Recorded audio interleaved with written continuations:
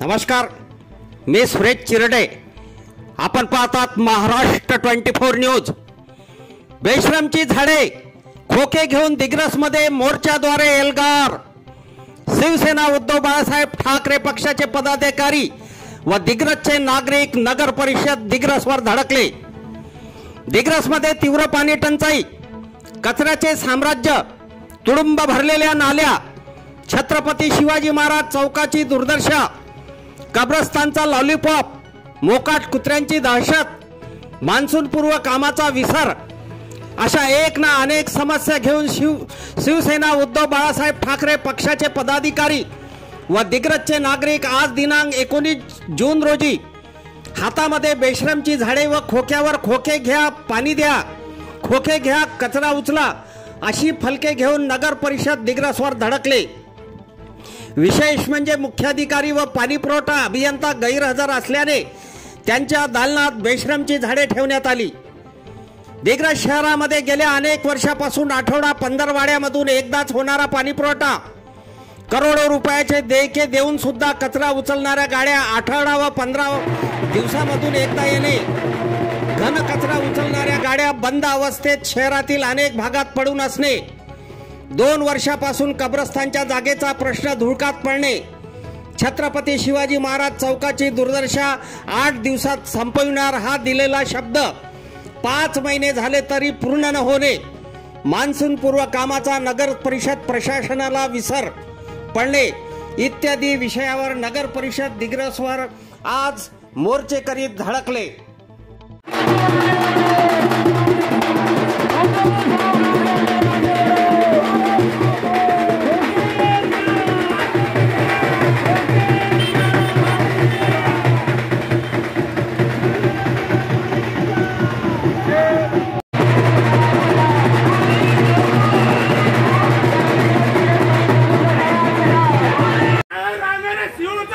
करायचं काय काही करायचं काय कमिशन कोऑर्डिनेटरचं करायचं काय या पालकमंत्र्याच्या BSEO पालकमंत्र्यांच्या नौकर असलेल्या मुख्याधिकाऱ्याचं करायचं काय पालकमंत्र्यांची पालकमंत्र्यांच्या पियेच्या इशाऱ्यावर नाचणाऱ्या मुख्याधिकाऱ्याचं करायचं का? अरे आवाज कुणाचा आवाज कुणाचा अरे खोके द्या खोके द्या दूषित असा पाणी पुरवठा महिन्यातून दोनदाच होत आहे. तदनंतर नळ टॅक्स आणि इतर कोणतेही टॅक्स ना हरकत प्रमाणपत्र काढायचं असेल जन्म नोंद मृत्यू नोंद करायची असेल तर या प्रशासकानं पाठीमागेच ठराव घेऊन घेतला आणि दुप्पट ते तिप्पट किमती या सर्व टॅक्सच्या नगरपालिकेमार्फत वाढवून घेतलेल्या आहेत. त्यानंतर नगरपालिकेमध्ये नांदगव्हाण धरणाचं बांधकाम पूर्ण झालं. काही पत्रकार बांधवांनी हा मुद्दाही उचलला होता. परंतु दहा अकरा कोटी खर्च करून सुद्धा एक पाण्याचा थेंब सुद्धा नांदगव्हाण धरणातून आपल्याला भेटत नाही आहे सायबन पद्धतीने नॉन इलेक्ट्रिसिटीने पाणी दिग्रसला पोहोचू शकते. परंतु फक्त नाममात्र धरण बांधून ठेवलं आणि ते शोभेची वस्तू करून ठेवलेली आहे. घंटागाड्याचा सुद्धा तोच प्रकार आहे. आठ ते दहा दिवस आठ घंटा गाड्या येऊन राहिलेल्या आहेत. आणि गावात फक्त दोन घंटा गाड्या फिरून राहिलेल्या आहेत. मोकाट जनावराचा सुद्धा प्रश्न. मागील काही दिवसात दोन पिसाळलेल्या कुत्र्यांनी दिग्रस ऐंशी ते नव्वद लोकांना चावा घेतला. कुठेच नगरपालिकेचं नियंत्रण त्याच्यावर राहिलेलं नाही आहे आणि अशा बऱ्याच काही मुद्द्यांवर आज शिवसेना उद्धव बाळासाहेब ठाकरे पक्ष व गावातील नागरिकांनी आज धडक मोर्चा नगरपालिकेवर दिलेला आहे.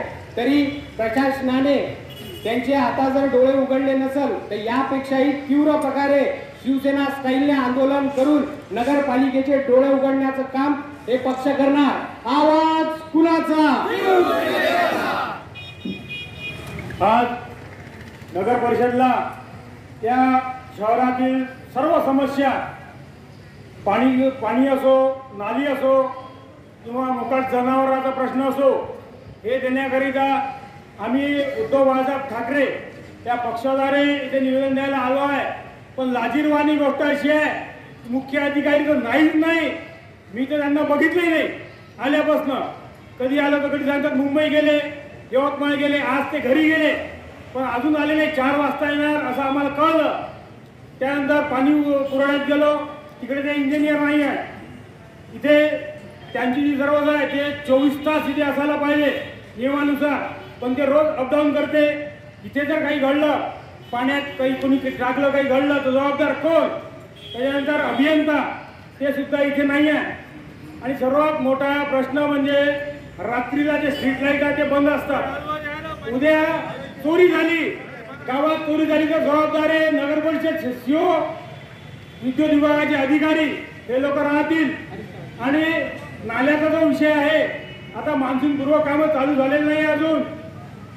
आणि जे झाले ज्या एरियात जे डीप एरिया आहे तिथल्या नाल्या साफ झालेल्या नाही आहे लोकांच्या घरात अक्षरशः टोंगळे एवढं पाणी साचते नाल्यांचं. याच्यावर कोणी काही काळजी घेत नाही. सीओ फक्त बांधकाम कुठे चालू आहे आणि कुठून आपल्याला पैसा भेटल याच्यात मागं लागून आहे. पण मला सीओला सांगण्या सांगायचं आहे की एकच विभाग नाही आहे नगर परिषदला. बांधकाम विभागच नाही आहे तर पाणी पुरवठा आहे. त्यानंतर सर्व सर्वसामान्य आहे. त्याच्यानंतर आरोग्य आहे. त्यानंतर विद्युत विभाग याच्याआधी सुद्धा लक्ष द्या साहेब. आणि या जनतेला याच्यातून त्रास मुक्त करा असं त्यांना निवेदन देऊन मी माझे की ओर से शिवसेना उद्धव बाला साहेब ठाकरे इनकी सेना की ओर से जो मोर्चा लाया गया है जिग्रस की जनता आज पानी के लिए दर दर भटक रही है। यहाँ पे जो भी लीडर लोग हैं, उनके इशारों में जो काम चल रहा है, उसके दबाव में आकर प्रशासन, यहाँ का नगर पालिका का सीओ और वाटर सप्लाई के जो इंजीनियर है, वो इंजीनियर लोगों ने जो हाल जिग्रस नगर जनता का करके रखा हुआ है, उसके निषेध में उनको बेशरम अर्पित करने के लिए, उनको कुत्ते अर्पित करने के लिए ये तमाम शिवसैनिक यहाँ पे आए आए वाले हैं। लोगों को तुम इस तरह से गुमराह करते आ रहे अजिंक्यभाऊ भाकरे आणि शहर प्रमुख शिवसेना उद्धव बाळासाहेब ठाकरे राहुलभाऊ देशपांडे यांनी आपली मनोगतात सांगितलं आहे. परंतु महत्त्वाचा मुद्दा हा आहे त्या गावामध्ये हिंदू मुस्लिम बौद्ध या तिन्ही चारी जातीचे लोक राहतात. मागील दीड ते दोन वर्षापासून आमच्या माहितीप्रमाणे रमाई योजनेचे पैसे आवास योजनेचे पैसे आजपर्यंत या नगरपालिकेने वाटलेले नाहीत. पंतप्रधान घरकुल योजनेची सुद्धा त्यांनी तीन तेरा वाजवलेले आहेत. या गरिबांना कर्ज काढून त्यांनी घर बांधले ते बेघर व्हायची परिस्थिती निर्माण झालेली आहे आणि कुंभकर्णी झोप घेतलेला हा मुख्याधिकारी गावात गावात आहे. गावातून आपल्या गावी जातो चंद्रपूरला. दर दुसऱ्या तिसऱ्या दिवशी जातो. पाणी पुरवठ्याचा अभियंता आपल्या यवतमाळला जातो. कोणी आज धडक मोर्चा येणार आहे धडक मोर्चा आम्ही देणार आहोत याची पूर्व सूचना या अधिकाऱ्यांना दिल्यानंतर सुद्धा पालकमंत्र्याचे हे पिच्चू आपल्या खुर्चीवरून गायब झाले. मित्र बांधकाम विभागाची गट काय सांगावी? बांधकाम विभागाचा अभियंता सांगतो पालकमंत्र्याचे स्वीय सहाय्यक यांची चिठ्ठी आला आणि मग तुमच्या वयाचं काम होईल. पत्रकार बांधवांनो आज शिवसेना उद्धव बाळासाहेब ठाकरे पक्षाच्या वतीने आम्ही सर्व शिवसैनिक या ठिकाणी दिग्रस शहरातील समस्या घेऊन आलेलो आहोत. परंतु मुख्याधिकारी साहेब आणि पाणीपुरवठा अभियंता हे दोघेही या ठिकाणी अनुपस्थित आहे हे दोघे फक्त पाणीपुरवठा योजने अंतर्गत त्रेचाळीस कोटीची जी योजना आहे त्या योजनेमधून किती मलिदा मिळतो हेच खाण्यात व्यस्त आहे. आणि कमिशन किती पर्सेंट मिळते मी तुम्हाला आज या तुमच्या प्रसार माध्यमामधून सांगण्यात सांगतो की गेल्या एक महिन्यात त्यांनी तिग्रज शहरात ज्या भिंत रंगवल्या रंगरंगोटी केली स्वच्छ सर्वेक्षण अंतर्गत ते त्या दहा दहा लाखचं रुपयाचं बिल काढण्यात आलं आणि आणि त्याची निविदा सुद्धा काढण्यात आलेली नाही. अशा पद्धतीनं हे मुख्याधिकारी त्यांच्या वरोरा गावातून जो ठेकेदार आणला त्या ठेकेदारापासून त्यांनी पैसे खाल्ले. त्याच्यात पाणी पुरवठा अभियंता मांडले साहेब यांचा सुद्धा हात आहे. यांना जनतेच्या समस्या काहीच नाही. यांना फक्त पैसे आणि कमिशन दिवसभर नगरपालिकेत मांडले साहेब येतात आणि बिल काढण्यात व्यस्त राहतात. आणि मुख्याधिकारी साहेब फक्त बांधकाम विभागाच्या निविदा आणि त्यातून मिळणारे कमिशन यातच व्यस्त व्यस्त असतात. एवढं बोलून मी माझे दोन शब्द संपवतो. दो सालों से नगर परिषद का भोंगला कारोबार चल रहा है ये नगर परिषद ने इतना जनता को आइडिया ला लिया कि हम सोच रहे साहब संजय देशमुख के कार्यकर्ता, पदाधिकारी, हम सोच रहे भाई, आज हुआ, कल हुआ कल हुआ, परसों हुआ। लेकिन यहाँ पर बेशरम का झाड़ फूट गया। इसलिए हमने बेशरम के झाड़ फूटी लाके लगा दिया आप मैदान में आ गए रोड पर आ गए। ये नगर परिषद का कम से कम पंद्रह दिन के बाद बाढ़ में, मोहल्ले में डिग्रस में दल आ रहे। दस पंद्रह दिन के बाद नल आने के बाद क्या करेगा नल आ रहे भी तो ऐसे आ रहे कि पाइपलाइन पूरी फूटी हुई है। वारंवार मैंने इन लोगों को निवेदन दिया एप्लीकेशन दिया और बोला कि भाई ये पानी फूटे फूटे पाइपलाइन में, गंदा पानी जा रहा है। लोगों को गैस हो रहा लोग दवाखानों में भर्ती और दवाखानों में डॉक्टर को पूछा जा रहा तो पानी में पाइपलाइन में पानी खराब आ रहा दुष्परिणाम पानी आ रहा है। ये पानी का डॉक्टर का बोलना है।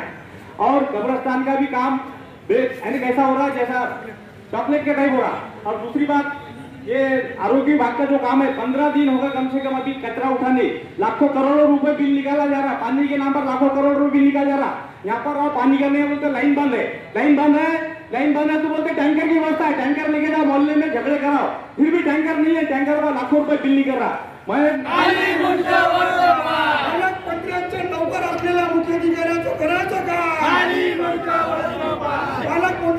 पालकमंत्र्यांच्या पीएच्या इशाऱ्यावर नाचणाऱ्या मुख्याधिकाऱ्याचं करायचं का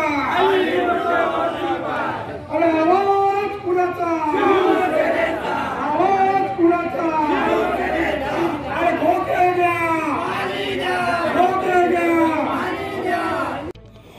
या मोर्चामध्ये माजी उपाध्यक्ष अजिंक्य मात्रे माजी नगरसेवक रुस्तम पप्पूवाले माजी नगरसेवक केतन रत्नपारकी उपजिल्हा प्रमुख पूनम पटेल शहर प्रमुख राहुल देशपांडे सज्जू पहलवान रमजान पटेल नासिर नवरंगाबादे एजाज शेख प्रज्योत अरगडे लोकेश शुक्ला बालाजी ठाकरे तानाजी घुमनर इम्मी खान अनवर भोंगळे राहुल धुळधुळे यांच्यासह अनेक पदाधिकारी व दिग्गजचे नागरिक हजर होते. अफजल खान ऋषिकेश हिराजसह मी Suresh Chirde Maharashtra twenty four news Digras. Yavatmal. आमच्या पुढील बातम्याच्या अपडेट पाहण्याकरिता आत्ताच आमच्या चॅनलला सबस्क्राईब करा व बेल आयकॉनवरती क्लिक करा. धन्यवाद.